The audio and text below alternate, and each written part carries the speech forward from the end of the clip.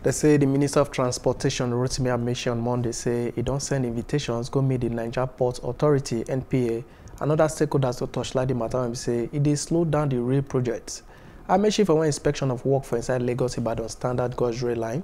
He say no appeal for the way when we say the work they dey slow for some sections. He say they don't touchlight the palaver of quality materials for im last visit, but say need dey for the sharp stakeholders waka to ginger the work. Amaechi said the rail tracks dey 100% complete for the first contract, say be from Ebute-Metta go Ibadan. The minister said they no complete about 5 to 6 kilometers track for the second contract from Ebute-Metta go Apapa Seaport. The inspection team may move go back through Ebute-Metta to inspect plenty sections of the project for the Lagos and through Kajola, Itori, Papalanto and Abeokuta inside Ogun and plenty portions inside the Ibadan, Oyo State.